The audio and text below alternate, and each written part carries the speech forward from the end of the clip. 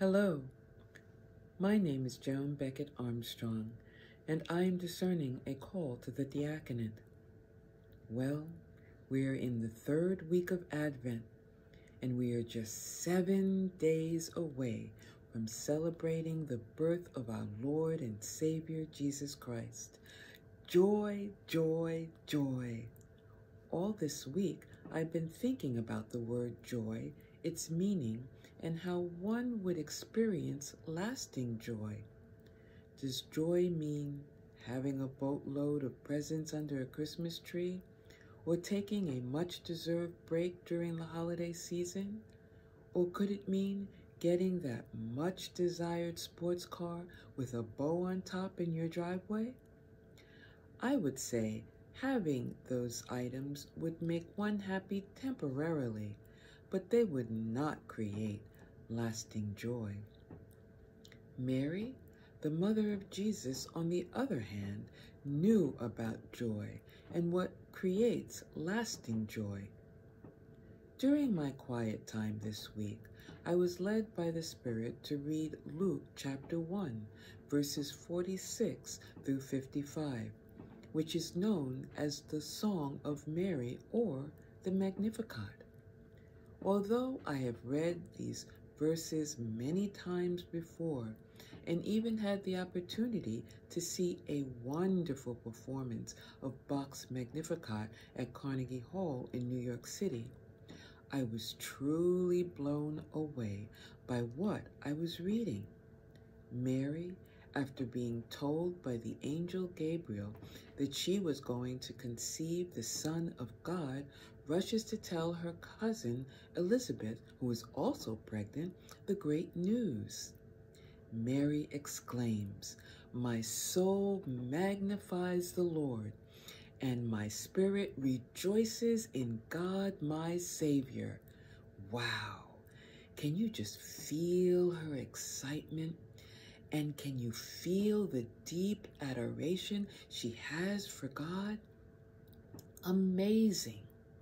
And Mary goes on to say, For he has looked with favor on the lowliness of his servant.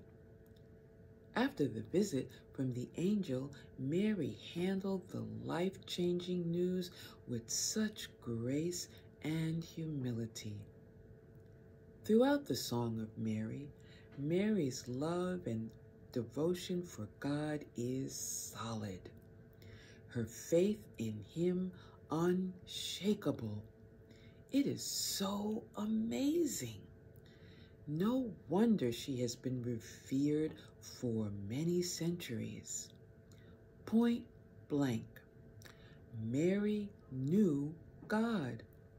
She knew him as almighty, forgiving, protecting, redeeming, loving, just, merciful, but how did she get to know God the way she did and know Him well?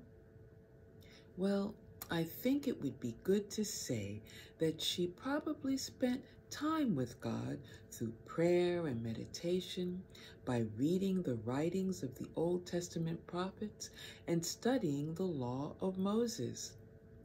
When you really take time to think about it, Mary, the mother of Jesus, was no different than any one of us. She was an ordinary person, but God used her to do extraordinary things because of her adoration, devotion, and genuine love for Him. And you know, God wants to have that kind of relationship with each one of us.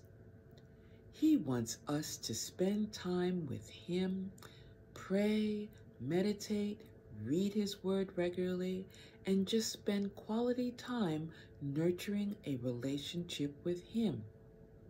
He wants us to experience the same kind of lasting joy that Mary experienced and was not afraid to tell the world about it.